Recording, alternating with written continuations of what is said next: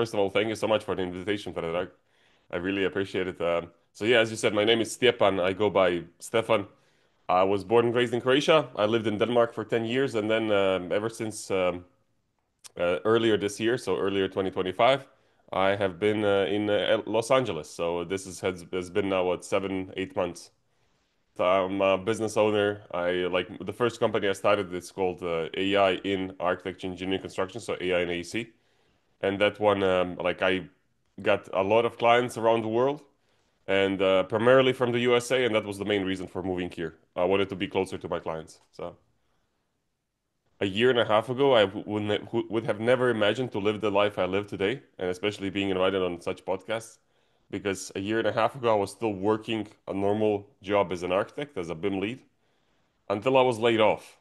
A year and a half, I got more than 700 clients from 67 countries around the world.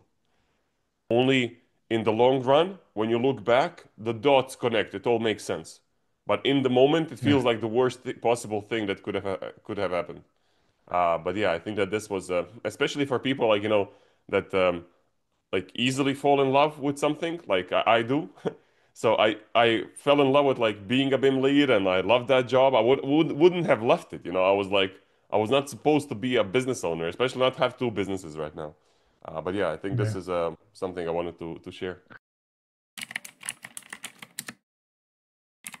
My story because like I got inspired by my parents, by my father primarily. He's a civil engineer, and I just remember like because I was a kid and uh, he had a like AutoCAD 3D, and I remember like he was just showing some lines in 3D, and I immediately fell in love. I was like, wow, this is cool. You can like because you know one of the main things that uh, people would like to, to be able to do, like superpowers, is the ability to fly. And I just felt like, oh my God, I can fly and see the house and the city and I don't know what. So that was like a cool thing when I was a kid. I was I had an internship uh, because that's kind of a part of the program, and I went for like six months, nine months. I, I worked in Turkey on a construction site, and I noticed that everybody comes to me for technology questions, and I'm actually really good at like you know understanding it, explaining it, teaching it, and so on and so forth. And then I asked, like, you know, I had some people that there like as mentors, and they told me you should double down on this. You should double down. You're really good at this. So mm. that's how I got into BIM. And um, yeah, so I worked at uh, Sweco, Swedish consultants. Uh, mm. That's like the largest engineering uh, consultant firm in Europe. I think it's around 22,000 people right now. And I worked there as a BIM coordinator. I did structures, MEP, ventilation, electrical stuff. Um, and after that, like after I got a, a kind of, you know, I kind of realized, okay, this is it. I, I understood that everything. I learned everything. Let me try a new challenge. So I got to uh, BIG. I started a business um, in early 2024 um, that offers AI courses, AI workshops, teaching architects and engineers how to implement AI. Because something I did as like my background is within the last three years, I created the world's largest database of AI tools for the AEC industry. 700 applications right now, and I, you know, people think that ah, there's only ChatGPT. I'm like, there's thousands more, literally. Um, so they, yeah, so people come to me for questions right now, and I, yeah, I made courses. They sold really well, and then the other company I'm running right now, it's called Neostack, and that company is mainly focused on helping AEC firms understand their technology footprint because we realized, like my co-founder and I, um, met on this journey of me running my own company, and then um, we realized that none of the companies we speak with actually has any idea of how much technology they're using, how many apps, how many licenses, yeah. how much does it cost them, and people just because everybody in the AEC optimizes for selling time and money, you know, um, not on time and materials, sorry, but doesn't optimize for selling technology. I mean, probably by by seeing all of these uh, AI demo days that you say that you you watch, probably you know by now that I'm I'm quite I mean religious, you know. So I, I believe that you know God has a plan for everybody on this planet, including mm. myself, and I think that God was just like trying to tell me that I was born for something more than a normal job, because you wouldn't have invited me on this show, you wouldn't have known about me, I wouldn't have been doing the things I'm I'm doing right now, haven't it been for that layoff so, and the same for you. Like, we wouldn't have ever met.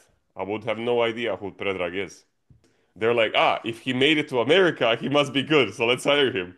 And I was like, I spent so many years in Europe when nobody said yes to working with me because I was young. I was like, you know, ah, they didn't. I don't, I don't know why. I actually don't know why because nobody tells you why they don't, they want to work with you. Like the key difference between America and Europe when it comes to BIM, AI, and technology is just that there's a lot more money here, and people aren't stressed about paying for an extra license of Revit and paying for new software and paying for this. It's not that big of an issue.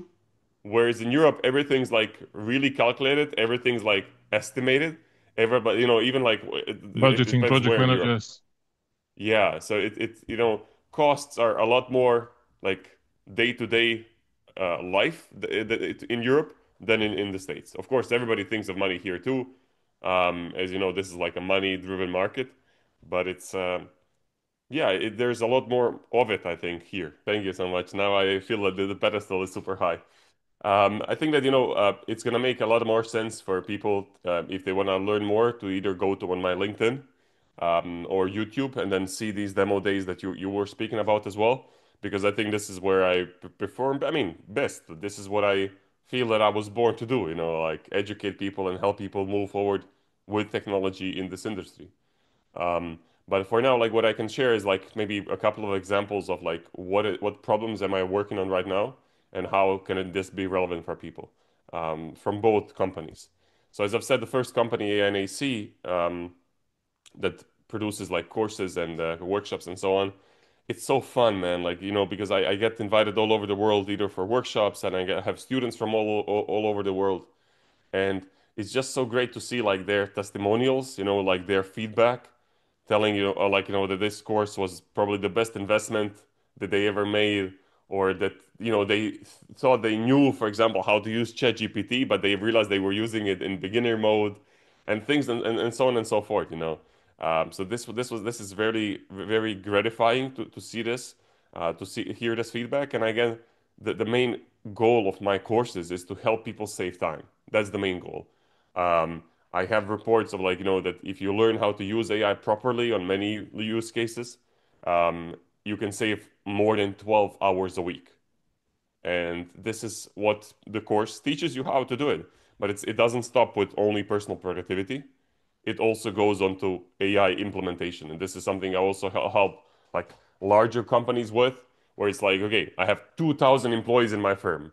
How do I go about this? You know, so because not everybody's the same. You know, I guess people like Yeah. yourself or people listening to this, they're open to technology. They're gonna learn about it regardless. You know, um, but it's it's the majority. Like, how do you move the critical mass of people? That's the question. Um, well, yeah, that's uh, like that's the first business, but it's more of a service business you can call it because like I produce the courses, I produce uh, you know the workshops.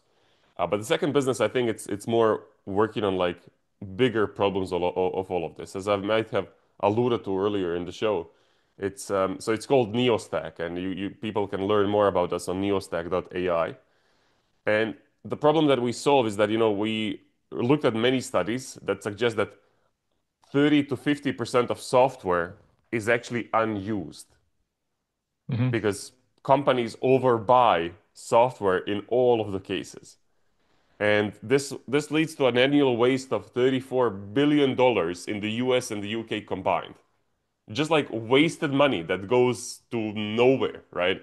Uh, I mean, it goes to these software companies, but um, it's not Yeah. really optimal for AEC businesses, you know, like you're spending money on something you're not even using. So the goal of Neostack is to help them optimize that, to help them cut those costs. Uh, because what we do is we help you find the best tool for you. We help you manage all of your tools, uh, track licenses, track their cost, and then even adopt the tools. Because what, what we realized is also what what firms when they implement, you know, um, a, a tool, when they choose a tool, uh, within the 18, within the first 18 months, uh, around 40% of mid-market companies abandon the tool of use Mm. because it's, it's just that it doesn't align with their business workflows. It doesn't like it's it's hard to learn it. So this is also another problem we're trying to to tackle with Neostack. Um, and I think that you know we had some really good um, either like first founding design partners. This is the stage we're at now. So what this means is that we are launching the beta soon, and one beta once beta is up, we're working toward our you know first MVP, so to speak, uh, to be launched in like 1st of February or 1st of March next year and or 2026, right? And that's the goal. We have like more than 200 companies that signed up on the wait list. Uh, many of these companies reached out even earlier. They want to uh, like help us either with finances or with testing and feedback. And uh, you know, all of these companies understand that giving us a bit of money right now to help us develop this, uh, as we're doing it anyway. You know, being fully bootstrapped for now, where like we put our own money. My co-founder and I put our own money behind this and develop this. Um, they understand that giving us a bit more money right now can save them thousands, if not hundreds of thousands of dollars Yeah. in the long run. So, um, so yeah, I think that that's uh, what I can share for the what we're doing. And I think that, you know, if people want to learn more, go to my LinkedIn, YouTube. Um, I'm pretty easy to find. I'm harder to catch, I would say, because especially with all the emails I need to get back to and all the companies and and, and so on. But yeah, I, I pretty easy to find. So um, you know, yeah, I, I think that that's what I wanted to share.